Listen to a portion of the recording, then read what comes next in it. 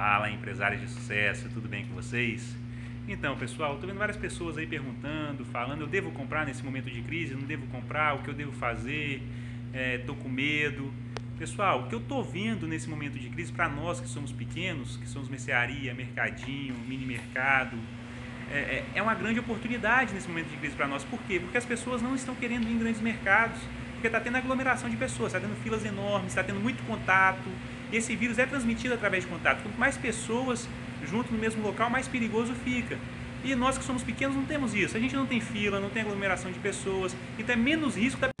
Ah, pessoal, tive que atender um cliente aqui rapidinho.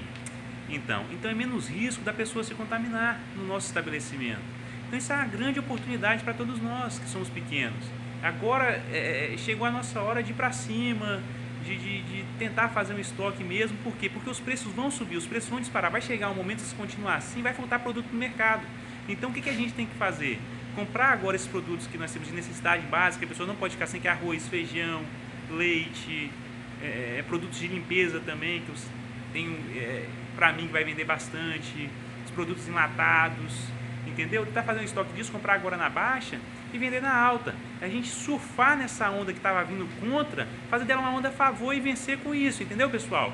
É, é isso que, que, que, eu tenho para passar para vocês, uma visão positiva do que está acontecendo. Claro que nós temos que nos precaver, tomar todos os cuidados com a nossa saúde, com tudo isso direitinho e tentar olhar positivamente para essa situação que nós podemos até ganhar com ela e vamos ganhar com ela, entendeu, pessoal? Sucesso para todo mundo. Abraço!